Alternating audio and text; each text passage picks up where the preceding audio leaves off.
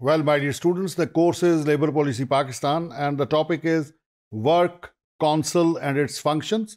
और relevant sections जो हैं वो सेक्शन 25, 26 हैं जो कि इंडस्ट्रियल रिलेशंस एक्ट 2012 का बड़ा इंपॉर्टेंट सेक्शंस हैं। सेक्शन 25 की हेडिंग जो है वो वर्क काउंसिल है और इसका सब सेक्शन वन ये कहता है in every factory or establishment in which 50 or more workman are employed कितने?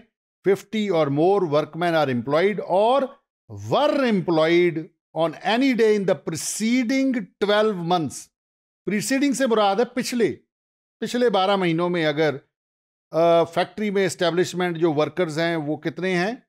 कि 50 हैं और उससे ज़्यादा है।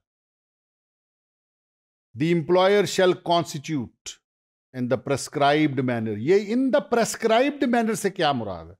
इससे मुराद है कि उसका तरीकाकार रूल्स में लिखा होगा, जो उस रेलिवेंट लॉ के तहत बनी।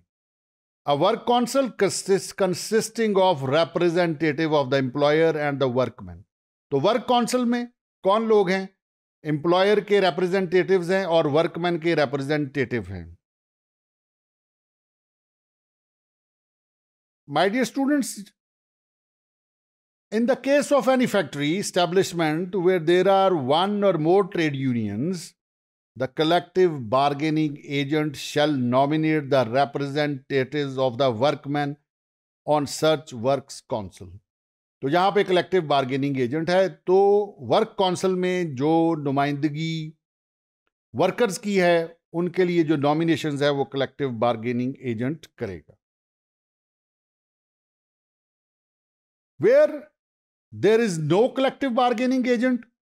Representatives of workmen or works council shall be chosen in the prescribed manner from amongst the workmen engaged in the factory or establishment for which the work council is constituted. Now let's move on to the section 26 और उसकी heading है functions of works council कि जो work council है इसके functions क्या हैं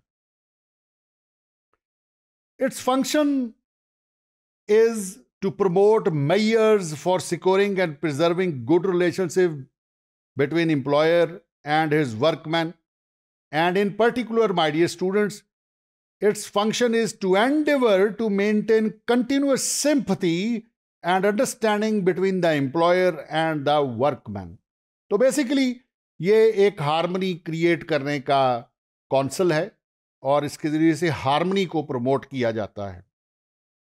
Work council promote settlement of differences and disputes through bilateral negotiation work council promote security for employment for the workman and condition of safety health and job satisfaction in their work work council takes measures of facilitating good and harmonious working condition in the factory.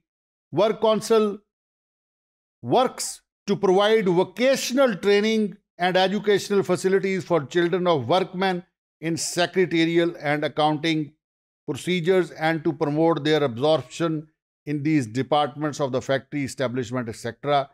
My dear students, you would be delighted to know that, in other words, a works council is a shop floor organization representing workers that functions as a local firm level complement and its complement to trade unions but is independent of these at least in some countries.